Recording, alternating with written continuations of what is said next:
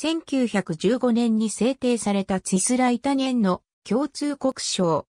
胸部にニーダーエースターライヒの赤、白、赤の盾章を掲げたオーストリアの総統の和紙が頭上にルドルフ2世の定冠を浮かばせ、爪には刀剣や宝珠といったレガリアを握っている。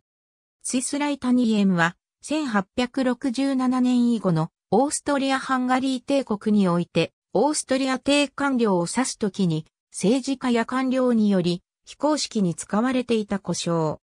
直訳すると、ライタ側より、こちら側の地域となる。オーストリア帝国との故障は、アウスグライヒ以前の帝国と紛らわしいため、ほとんど用いられなかった。スイスライタニエンの公式名称は、帝国議会において代表される、小王国及び諸法であったが、1915年にオーストリア諸法に変更された。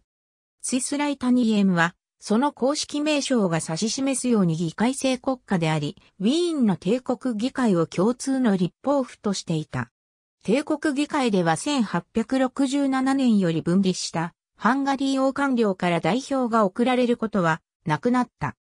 チスライタニエンという名称は概念的にはオーストリア側からハンガリー側を眺めた形になっており、ニーダーエスターライヒとハンガリーの自然国境の一部を形成し、人がドナウ川の南側を通ってウィーンからブダペストに向かう際に横切ることの多いライタ側に由来している。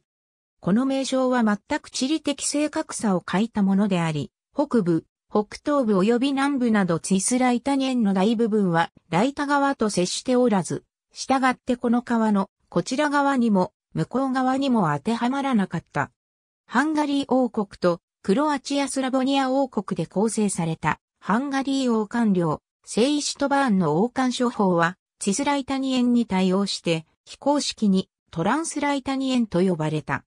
オーストリア・ハンガリーが1878年に占領し、1908年に正式に併合したボスニア・ヘルツェゴビナは、チスライタニエンにもトランスライタニエンにも所属せず、両国の共同領有地域とされた。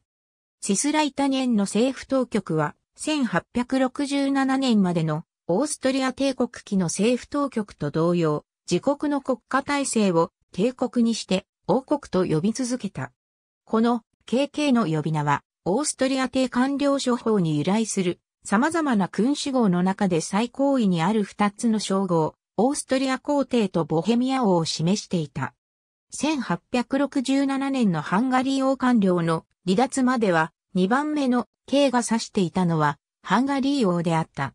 1889年になって二重帝国全体を指し示すための語としてチスライタニエンとトランスライタニエンを併称した帝国並びに王国という呼び名が作られた。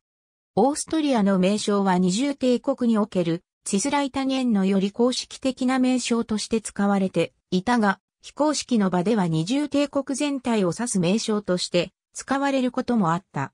第一次世界大戦中の1915年、オーストリアは名実ともにツイスライタニエンの公式名称に定められた。皇帝フランツ・ヨーゼフ一世と帝国政府が公式名称の変更を決心したのは、チェコ人の激しい抵抗運動に対処する目的のみならず、長く帝国議会で議論になってきた事柄だったからでもある。これにより、帝官僚に属するすべての処方がニーダーエースターライヒに由来する赤、白、赤のベンド縦章を国章に使用せねばならなくなるという問題が起きた。同じ1915年に新しく、オーストリア帝官僚の共通の国章が作られたが、これは以前のようにすべての処方の小さな国章が示されるものではなく、単にオーストリアの総統の和紙だけを描いたものであった。この修正の戦争における効果は乏しいとしか言えず、